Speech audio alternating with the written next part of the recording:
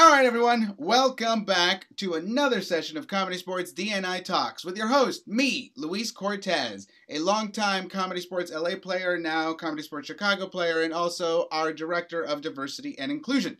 We started this show a few months back in order to introduce you to our ensemble, but also to introduce you to a lot of the conversations that we're trying to normalize within our ensemble, within our fan group, and within anyone who comes and watches our shows. Also, make these conversations a little bit more mainstream, not so taboo in the dark, uh, but also to introduce you to brand new ideas uh, and brand new. Uh, uh um, uh, what's the uh, themes that we might be uh, running into as we continue this sort of work. And today I have a uh, very special episode because I have not just one, but I have two guests. Uh, I have uh, some friends of mine from outside the Comedy Sports Chicago world. They actually uh, come from Comedy Sports Worldwide, which we'll talk a little bit about today. So today will be a special episode as we are kind of stepping outside of the world of Chicago uh, for a little bit so that you can hear what's going on outside of not just uh, Chicago, but uh, kind of comedy sports nationwide. Uh, today, uh, my special guests are uh, Justin Green from Comedy Sports Las Vegas and Amelia Fowler from Comedy Sports New York. Hello, you two. How are we doing today? Pretty okay. Yeah. yeah How are day. you? It's a good day.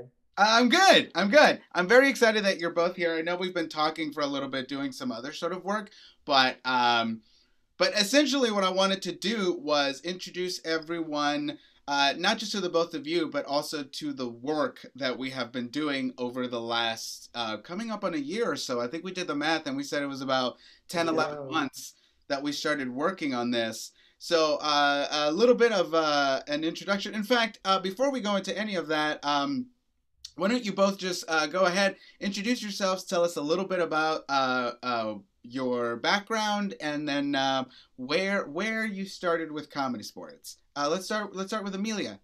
Oh, um, I am an actor by trade. Um, I am from Brooklyn, New York, and I'm still in Brooklyn, New York.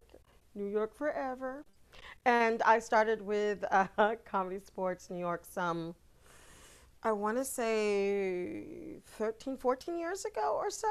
Um, and to be honest with you, just recently, maybe in the last few years, I've gotten more active in different conversations within comedy sports and within uh, the worldwide scene. And um, let's see, you know what? We'll come back to that question. Let me just let Justin do his thing. Cool. Uh, I'm Justin. Uh, I am a co-owner and the artistic director of Comedy Sports Las Vegas.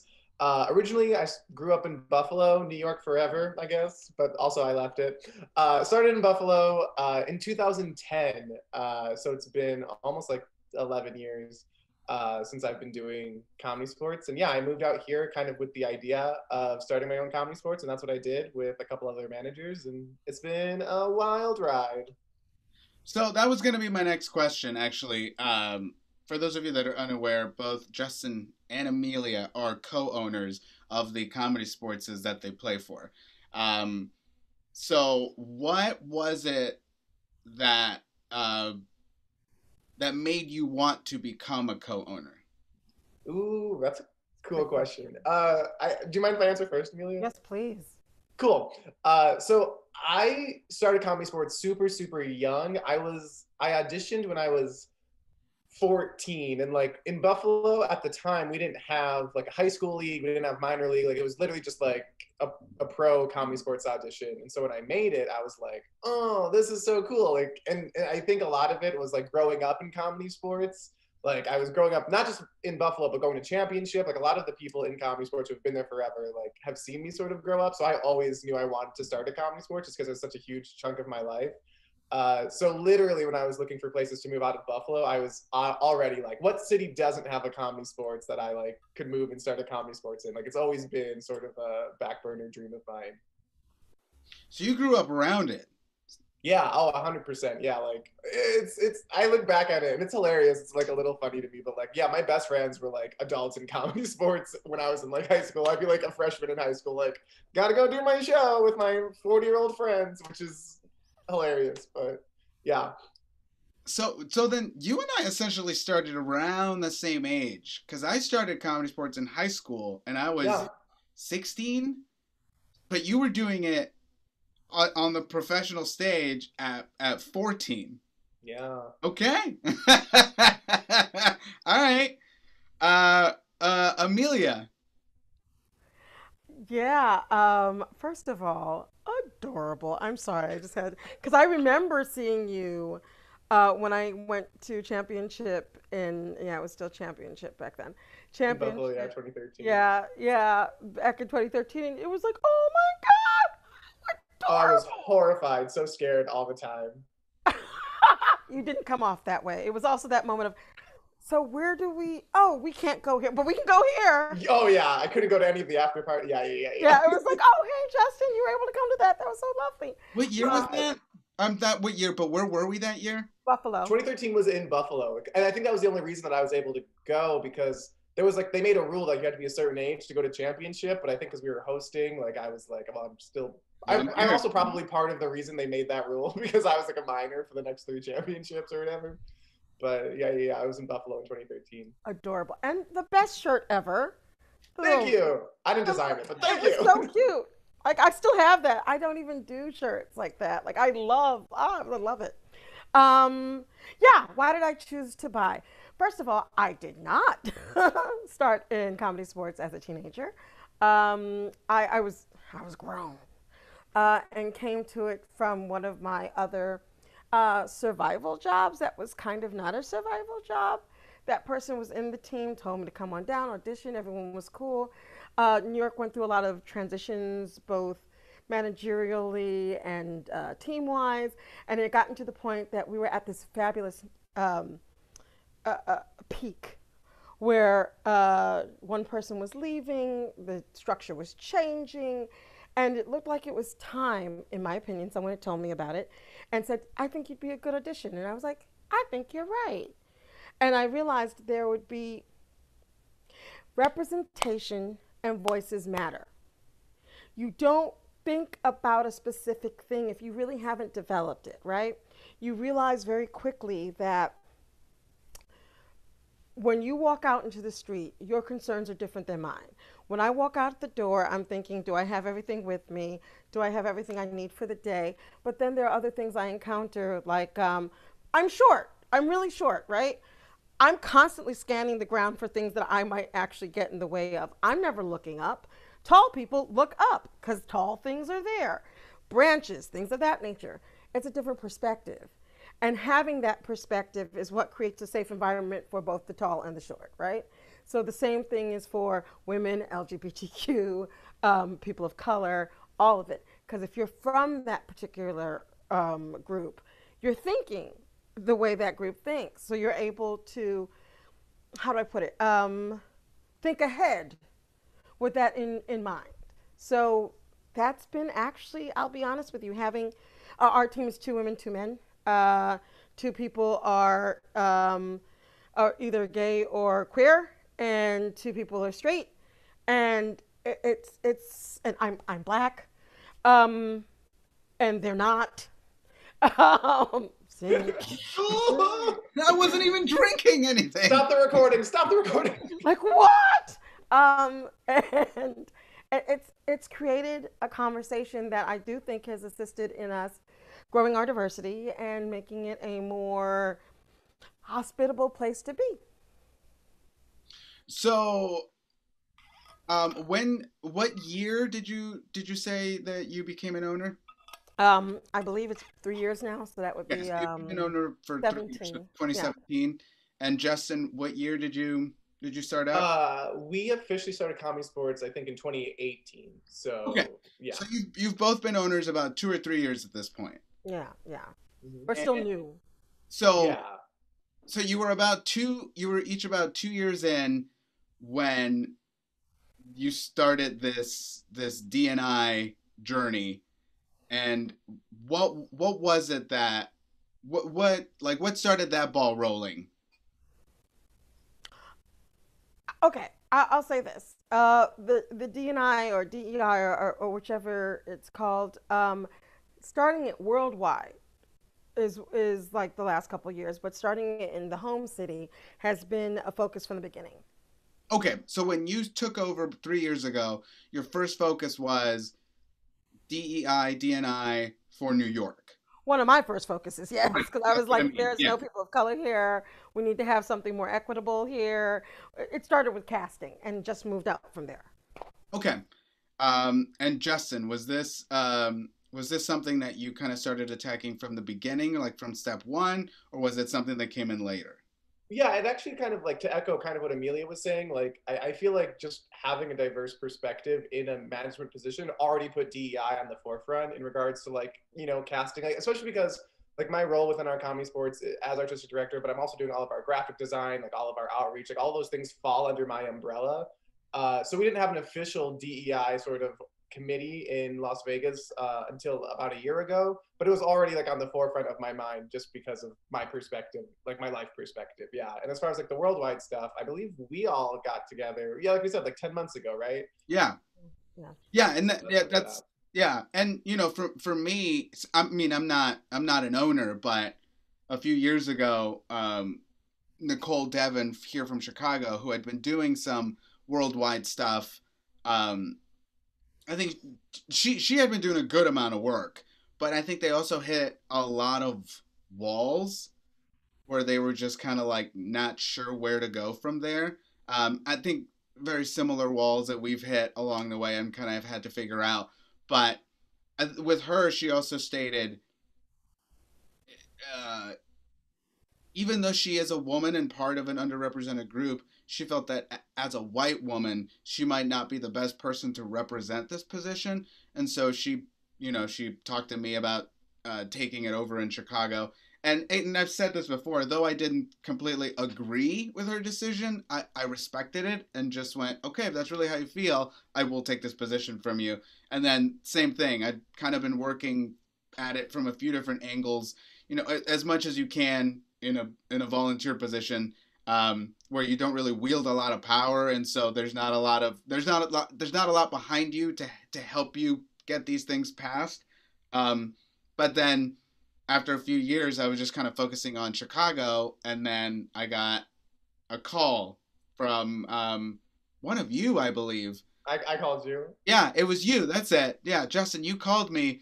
We were just like, uh, we might be getting together to talk. Do you want to talk? And I was, I'd already kind of been through the ringer with some worldwide stuff that I was just like, all right, here we go again. All right, yeah, I'll talk. Let's do it. I'd stepped in, stepped out, because I, I, I, I, I didn't know what I was doing, and I would just get too frustrated, too emotional. Uh, but then I was like, maybe with some other people, this might seem a little easier. Um, so we met. Uh, so this would have been April, May of 2020. We were just at the height of, not even at the height, we were just getting comfortable into one month of being locked in might turn into two. I think is kind of where we were.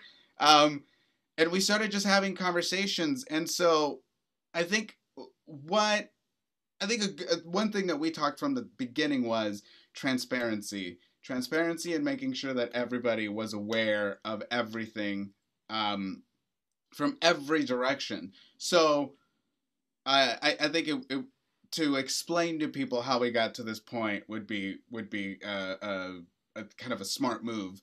So what do you recall about those first few conversations that we were having when we were first meeting and kind of figuring out, you know, what is Zoom and what are we doing?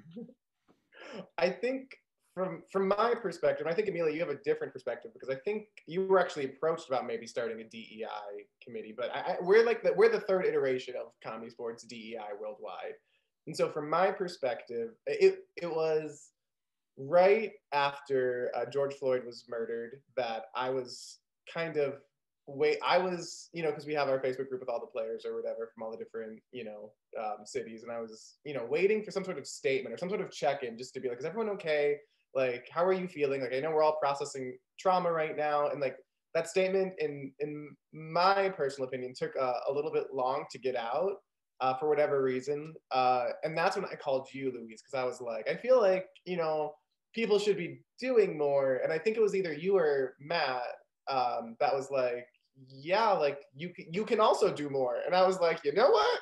You're right. Like, let me, let's, you know, try and figure something out. And that's, I think, at least in my mind, I think this was one of the first calls I had with you, Luis, was like me not necessarily feeling like equipped to start like a DEI committee, and you were kind of just like, you are like, start like let's do it. You know what I mean? So I think then we got Amelia, and then the three of us just started meeting consistently uh, and having these kind of conversations about what changes that we want to see within comedy sports worldwide to make it a more diverse, equitable, and inclusive place for everyone.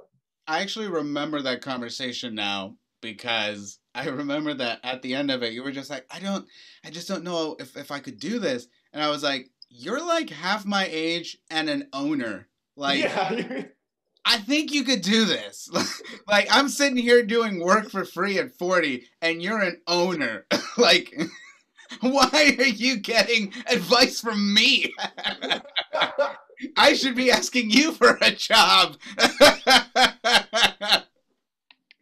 Yeah, no, I, I, I'll, I was literally pacing up and down my room. Like I remember that conversation very vividly. Oh, like, all those I, I've, I've, I've walked a circle into my basement with how many of those conversations I just went down there for, just walking in a loop, like oh, I'm getting so frustrated and riled. Yeah.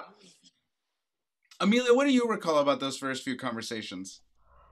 Okay, so horrific, horrified from the George Floyd situation.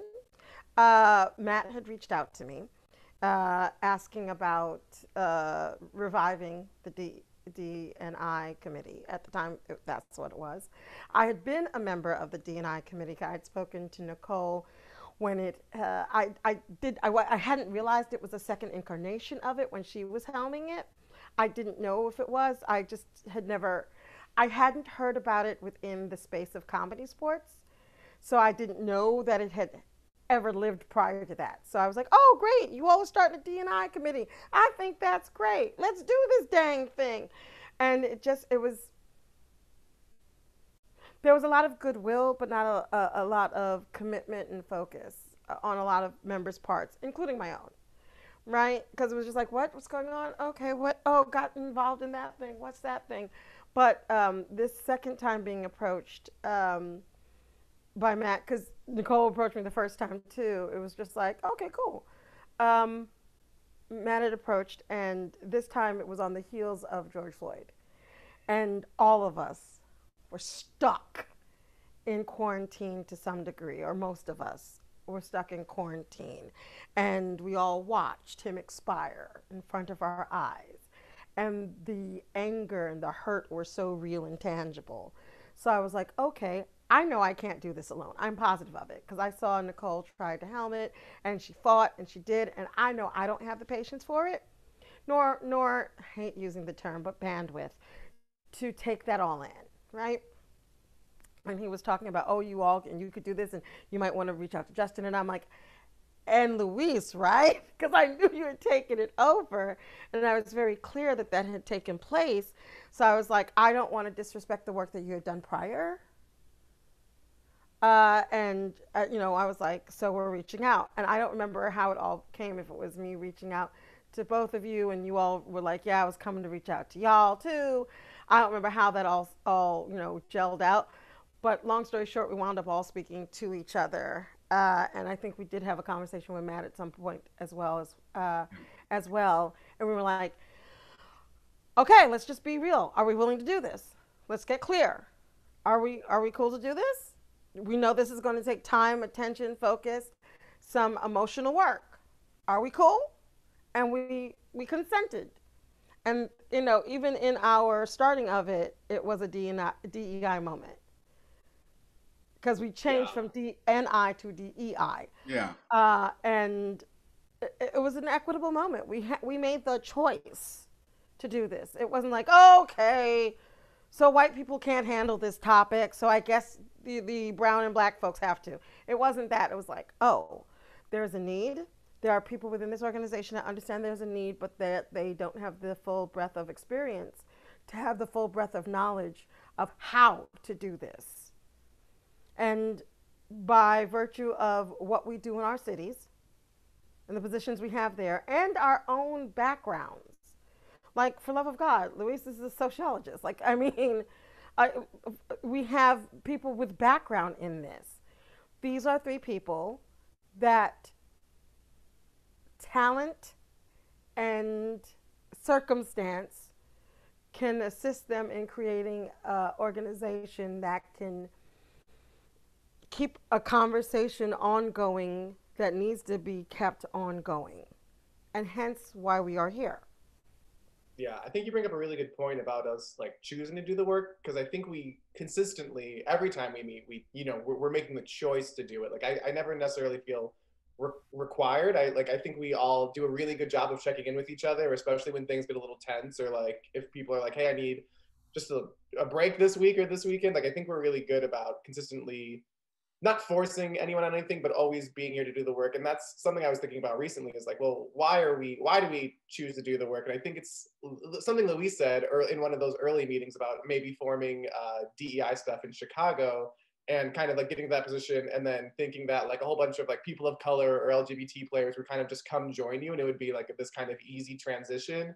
And it wasn't, right? And then you kind of said, yeah, like some players, like everyone deserves the right to just come here and like do a show and then get drinks after and then go home. Like there shouldn't be put like I, I guess a special requirement just because you are you know a member of a marginalized community that you're also going to do the DEI work, right? And I, I like I like the idea that we're choosing to do the work so that other players don't have to, right? Like we're trying to make it inclusive for everyone so that everyone can just ultimately have fun. And if you want to get more involved, you can. And if you don't, that's also totally fine. Yeah, pigment and underrepresentation doesn't mean it is your job.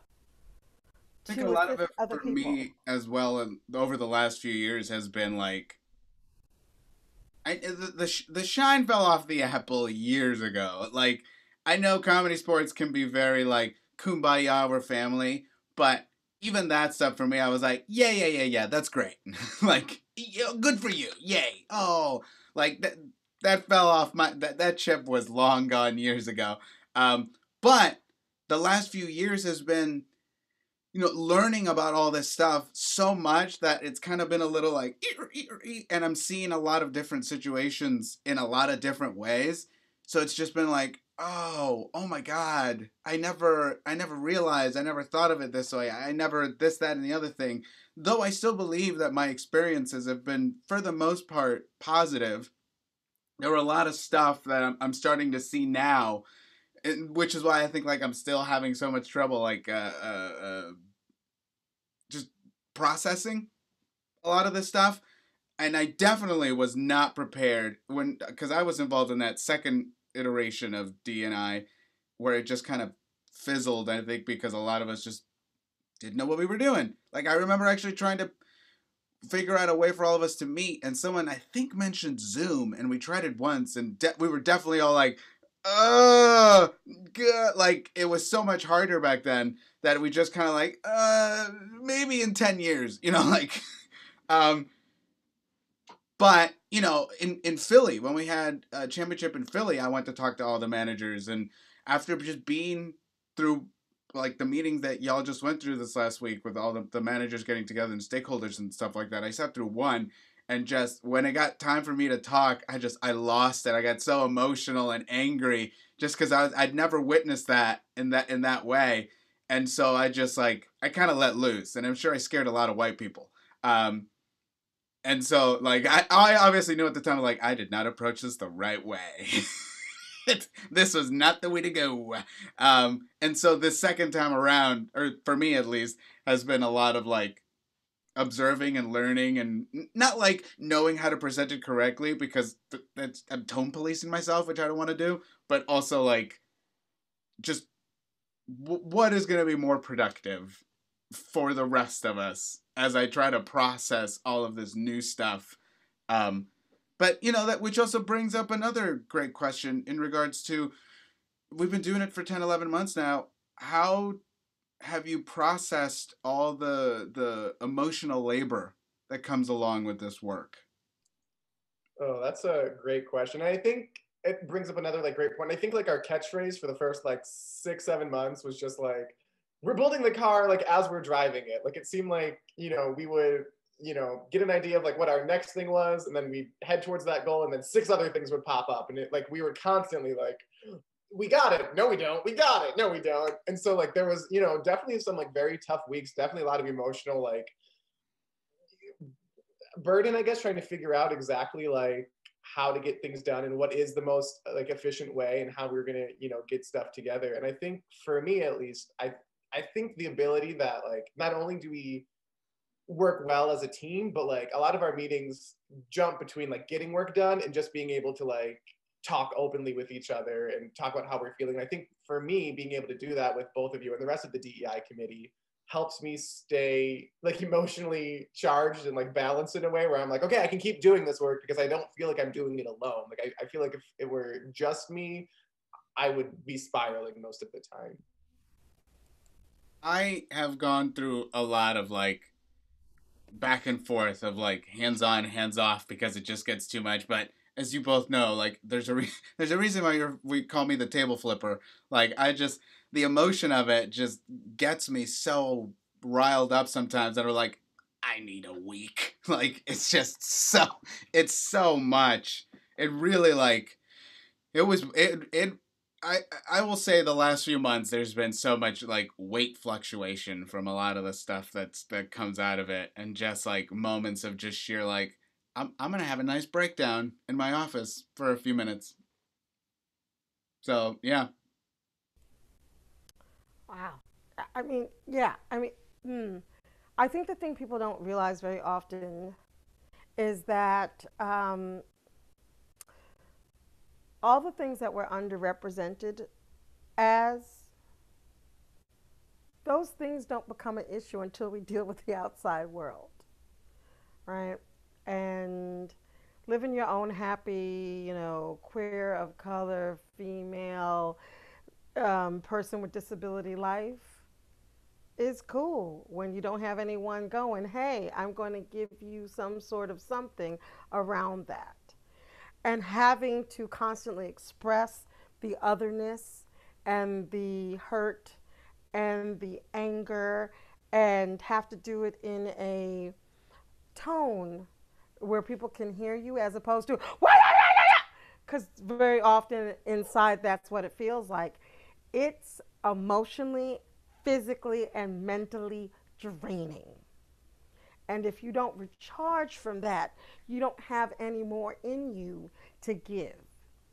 So, being very conscious about that and knowing that, hey guys, I'm sorry, I can't do this meeting today. I need, I need, I need a personal health, mental health day. I now take weekends off from DEI work. I usually, if I if I'm doing the DEI work, either in this capacity or in another capacity, because I either even in my own city or for another, uh, you know, tangentially related, you know, improv troupe, I need two days out of that week to not be a black woman who is sexually friendly. That's that's that's my orientation friendly. Um, yeah, no, it, it, it needs to have that breath. And that's why we don't, and we encourage people not to, assume that anyone who's underrepresented, underrepresented needs to do this work with you. It is not their obligation. When somebody seeks knowledge, it is their job to seek it, not someone else's job to give it. And and that's why. Because this it hurts to know that people don't respect you because of something arbitrary about you that you have nothing to do with.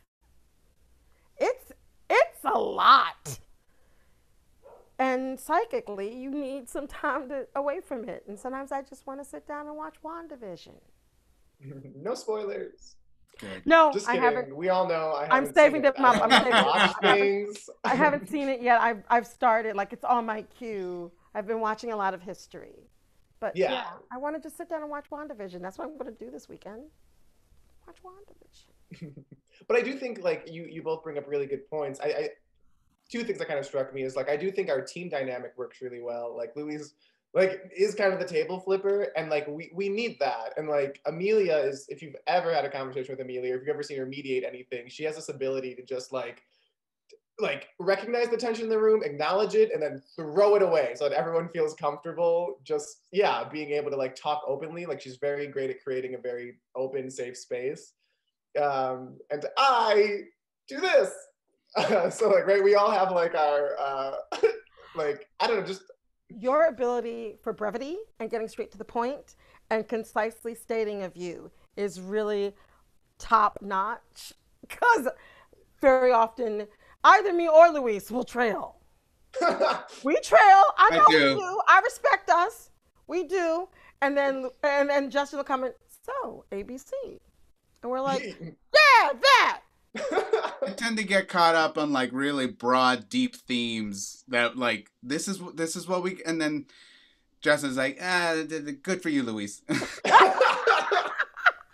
or I'm now, now, as we come now as we come down fr- from your dream speech. Here's, here's some tangible things we can work on. Which is great. The speeches are great. Like both Amelia and Luis, really, really great. But I take the notes because they're succinct. Uh, but yeah, right. Like it takes all of us, and I and I love that we. I don't. I think we did a really good job of not like tone policing or saying like this is how you need to work through this issue or this is how you need to communicate this issue because I, I think we are all in agreement that there's not one way to do DEI. It, like right, we're not a monolith. We don't answer for every single you know person who's in a certain community. Like we're doing the best from our perspectives and our experience. Um, so yeah, I I think the synergy of our team is also what helps it thrive and succeed what what you just said, Justin, about be, not being every voice.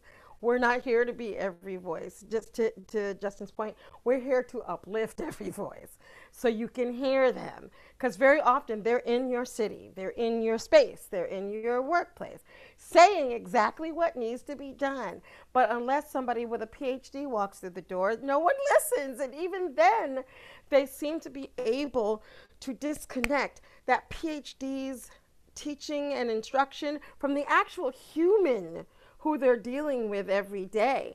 So our I think our job and our mission is to synthesize the two. So you can listen to the PhD. They're lovely because they need to make dollars too. But you need to listen to the human being, the actual corporeal human being that's right there saying, hey, I keep giving uh, ideas in meetings and you keep hijacking them and then not crediting me with said idea. Not cool, man. And that not being, oh, she's like that or she's like that. It just being, oh, you're right. Sorry. Need to make sure that I don't do that in the future. Now, having done this work for almost a year, mm-hmm. what would you, what what kind, what would you want to share not just to like the ComedySportz world, but to like to to people so they're they have that transparency from us. They know, you know, obviously the bigger thing being this is us. We're we're the bulk of the bulk of the group with some other people having jumped in over the last few months from different cities helping us out uh, when, when they can. Um, you know, the fact that we're three people of color, uh, uh, we're LGBT. Um, you're both part owners. Awesome. I am saving up for a hat, so that's gonna be great. Uh, but like, what is what what are the things that you would want people to be aware of about us? I think humans. That's what I was gonna say. I was gonna Get say, right, my like, head. we do like I, it's so like I think as we kind of talk about this work, like it's it's a lot of work, and I think the three of us do our best to get as much done as we can all of the time, like as much as humanly possible. Within also, right, like this is a volunteer thing. Like we do have other commitments and other jobs that need to get done.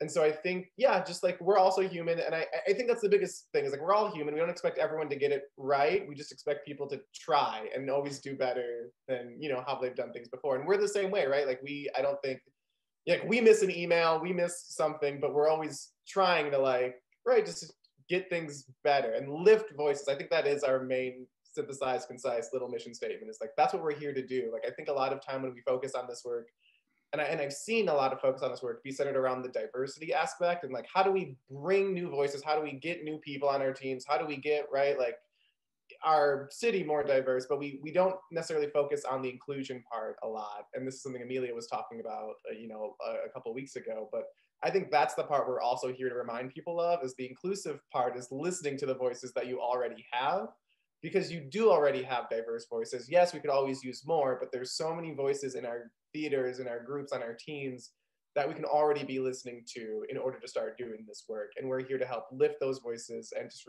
yeah, remind people that they can use their voice when they want to. Yeah, I think one of the things that we talked about in the beginning, and it was something that I talked about with Chicago as well, is like all all the moves that you're making right now like if if they feel weird or they feel like they're a reflex it's it's because they are it's because they are and we just have to be okay with that because we're not gonna we're not gonna catch up without going through that sort of thing you know without like okay this feels really mechanical it's like yeah it's because we don't know how to do it so we're still like doing this thing and you know, we put out our statements, we put out our videos, and of course, like, well, this this feels weird. It's like, yeah, because we're not used to doing this. Like, we need to normalize this stuff. It's it's why we have these conversations. It's why I sit down with my ensemble to talk about some of this stuff. And with some of them, it did take a little bit of like, just tell me some of this stuff, and it's because we don't talk about it. So of course it's kind of like, oh, and then by the end it's blah blah blah blah blah blah blah blah blah, and that's when I'm like, all right, well time's up, we gotta go uh, as they're like, but I know everything is false. Uh, so, but it it did become such a like a, a, a humongous learning situation. I think I I can't speak for all three of us, but definitely for me, where I was just you know, I'd always thought of certain things a certain way, and then without, within our conversations, all of a sudden, again, it was very eye opening and just kind of uh, reanalyzing things and even you know the the areas that I had to work on and where I was coming from with a lot of different things and you know having grown up the way I grew up and the terms I used to use and you know my my behavior just a, a lot of things that can't help but turn lights on air um, parts about yourself that you may not want lights turned on but it's it's so yeah like that that alone is so much emotional labor and then on top of trying to keep all that away from everybody else? Kind of like trying to hold that dam back as you're trying to break it? It's yeah it it, it really takes it out of you. Um, but yeah i guess one of the bigger things would be for people to just like we're, we're people too. We we we we have feelings and we get sad a lot about this stuff because we don't want you to have to go through it. Um, but also like um, like work wise like some of the uh, things we've accomplished over the last few months, what would be some of the things that you would want to share about that? I, I just wanted to piggyback off of what you said oh. prior um, about the humanness, oink oink, um, to uh, in reference to humanness and us having our own learning curves in this. This has been a lot about learning other people's triggers and learning our own I, I, I will go on a, a, a ledge and say that we've all learned some things that make us go, what? And knowing that I think it's assisted us in being more able to hear other people's triggers because we know that this work exposes those things, exposes those things that you thought you had handled that you don't. And knowing that for ourselves helps us guide people through it. And that is something that's going to come up in this because it's something that you're actually putting thought to. And as as far as uh, the the accomplishments we've had, I see. I'm look look look look. I'm bridging things. I'm bridging things. Ah, transition. As that has assisted us in doing the work we've done, we've been able to go into specific cities and uplift those voices that were trying to be heard and be able to translate from one to another. One of the I, I, one of the most mm, valuable moments I've had was being able to sit in a Zoom room and hear one person voice what they thought was going on and have the other person voice what they thought was going on be able to condense it so the other could hear it and have them both hear each other. Because a lot of what this has been has been people hearing, no, not that I'm hurt and I'm having an issue, hearing that you hurt me and you made an issue for me. So you're bad and you're wrong, as opposed to something you did caused this situation and now I'm hurt. It making those distinctions has been amazing and and fabulous to see how it's caused different structures to start up to create more breath. I think another couple things that I'm super proud that we've accomplished as a committee. Um, I, I, think when we started this committee, one of the things we like re- realized right off like the bat was like we don't know all of the issues. We, we we can't speak to every single experience, so we need to figure out what is the ComedySportz experience for different groups of people. We did that in two ways. The first one being our survey to get sort of quantitative data as how, you know, it was the quickest, easiest way to get quick information of like what is the general temperature of you, you know your city or how you're feeling um, and so we released that and i think Luis, you mentioned that like um, one of the older iterations also released the survey, but like engagement on this survey was actually really, really high, right? We, we had like a, a, an extreme growth in the amount of participants in the survey, and that was really cool to be able to get some quantitative data. But we also hosted uh, town halls, uh, or I'm sorry, roundtable discussions for different groups of people, so we can get more qualitative data and talk to like what is the LGBT experience within CSZ in your city and worldwide? What is what is it like being a, a, person of color? What is it like being you know a woman? And so we were able to get qualitative data and then based on both that quantitative and qualitative da- data that we collected we were able to form like a set of dei minimum requirements that we were able to present to shareholders to you know start working on building and um, creating the spaces that we want to see and have it in legislation right? Not just on good faith that this is what we want but to actually work to make sure that every single organization that calls themselves a CSZ or a ComedySportz is able to have some sort of minimum requirements centered around DEI because that is our focus as a worldwide community. So those things are I'm super proud of. Uh, yeah, I uh, I was just thinking back to like all those conversations that we had, the sit down conversations with essentially people from all over the league, and then city specific ones. And I think the thing that it didn't surprise me, but this was one of the first times I'd actually seen and heard it, where like despite where we were, we we just kept hearing the same stories, and and it it was very much again this very like whoa moment of like it's not so clean cut as to like cut each group up into a number of percentages because there's so much intermingling amongst the groups. And so it's hard to say, like, well, you know, we have 10% this and 20% that because of the fact that it's like, yeah, but, you know, 7% of that 20% is part of that 10%. So it doesn't, you know, it's like, it's, it's weird to, to, to break it down into numbers like that. But for me, it was definitely just seeing the overall I don't want to say sameness, but at least hear, hearing these stories echoed over and over and over again. Yes, there were similar themes between groups, like regardless of you know what the what the community was.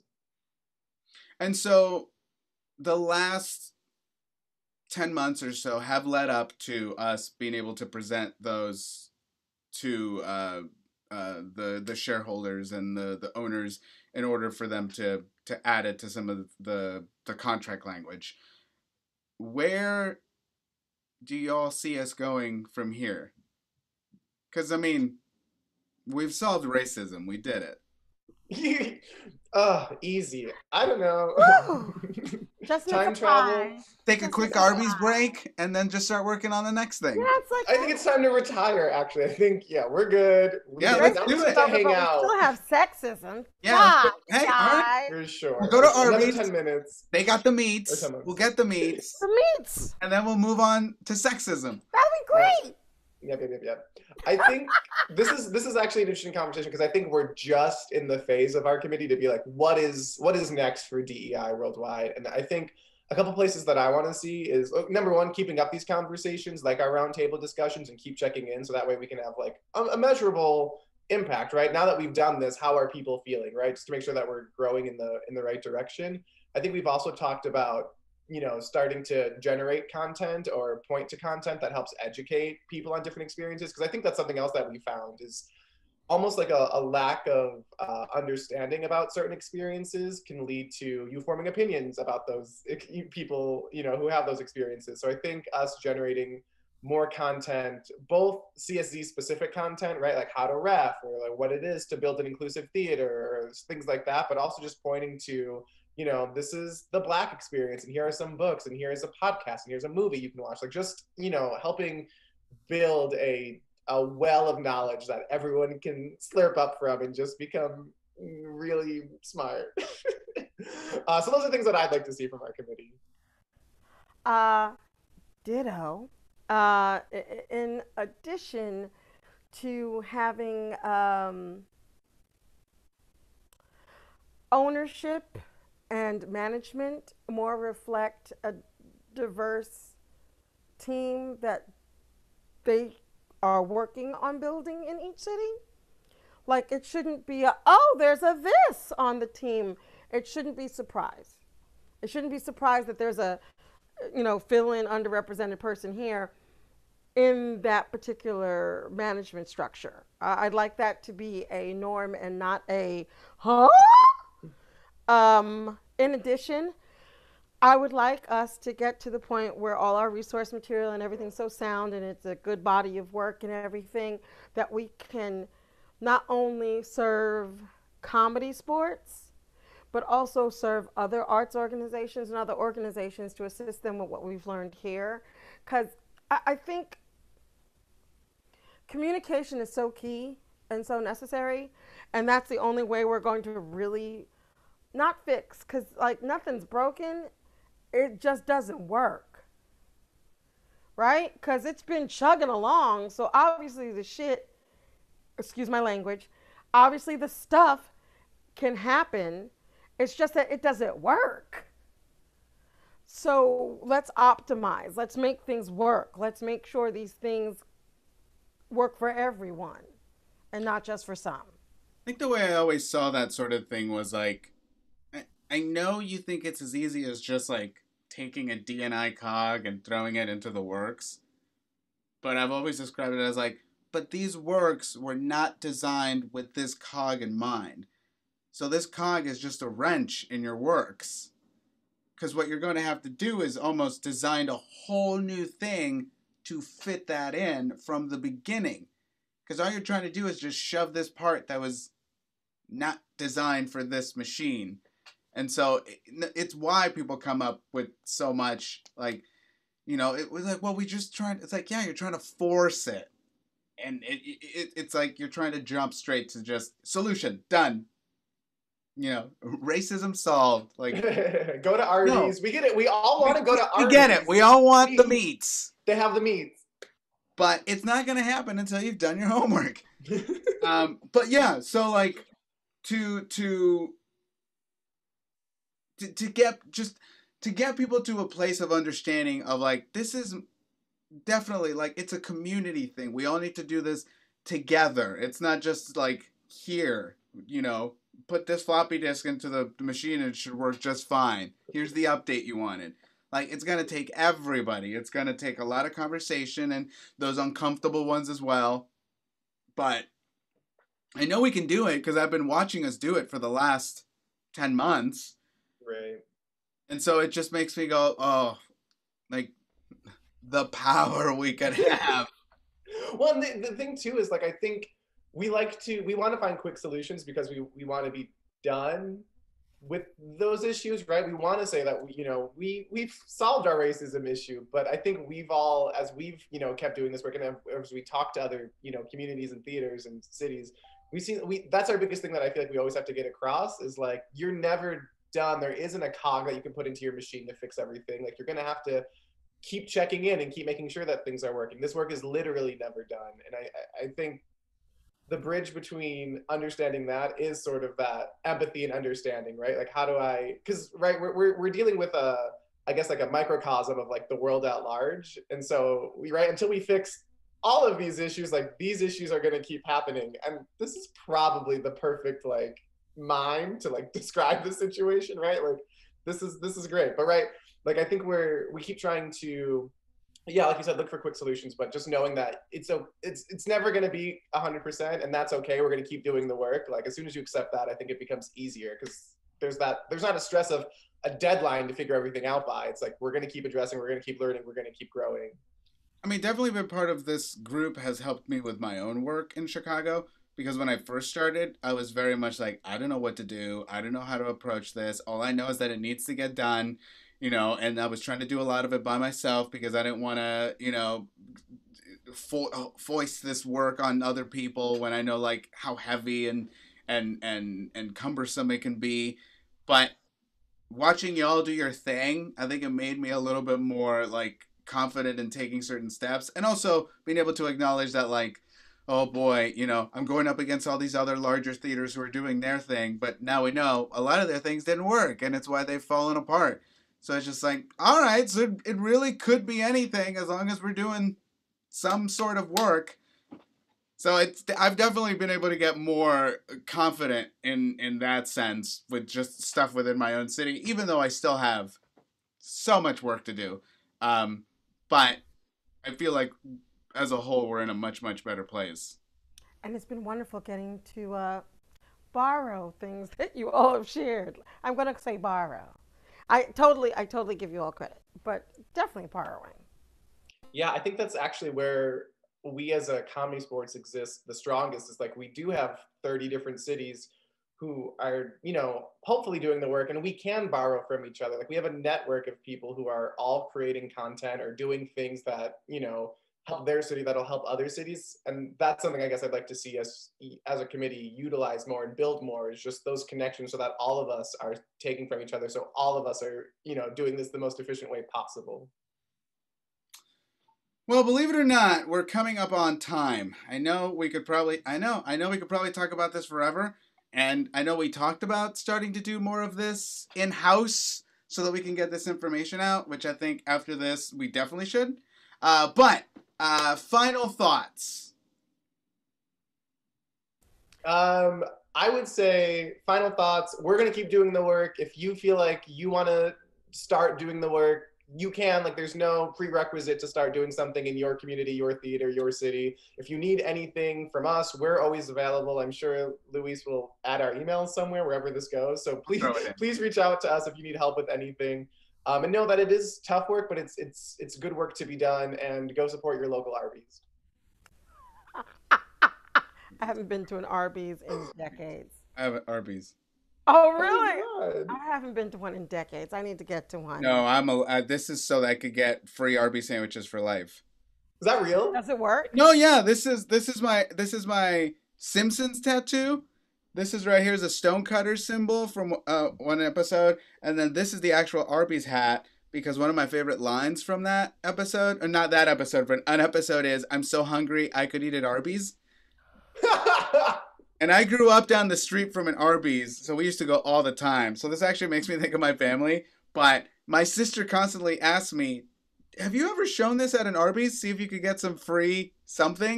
And I was like, "I have not. Why am I so stupid?" I never thought of it. That's never thought of it that way. Yeah, try. I mean, my mom loves a French dip, so if it works for you, let me know so I can let her know. I can let her know. like I've never, I haven't decades. Um, oh, parting thoughts. Um, do the work. Stay in the work. Stay in the conversation. In conversation, anything can happen, literally. So yes, Ah, also be respectful in the conversation. Know that the person who is the underrepresented or marginalized, what they're saying is so. Their experience is so. It is for those who are not in that group to respect what they're sharing and give them room and space, not to get qualifications around it and get clear on other people's intentions because they won't know. So just stay in the conversation. Realize that that person who's underrepresented is the is they are the specialist in what they're dealing with, and treat them as such. Yeah, that's that's yeah that's for me. It's also been reaching a point of stop trying to convince people and just present what needs to be presented as so. Like these are the facts. And stop presenting it like, please believe me. It's like, no, here's what it is, and process that. Uh, so yeah, I think that's a great point. Uh, thank you both so much for doing this. Uh, um, I will uh, will definitely do another one specifically for D&I talks, but I definitely love the idea of starting to do these uh, for all the other ComedySportz folks, so they are aware of all the things we talk about as well. Uh, for everyone out there, thank you so much for watching. Uh, please check out our Facebook page, our Instagram page. Please check us out on Twitch, CSZN ComedySportz Network. Uh, we have programming six days a week, except for Tuesdays. That's when we rehearse. Uh, but other than that, check out our channel because we have got programming every night of the week. Uh, thank you all so much, and we will see you next time at Comedy Sports D&I Talks.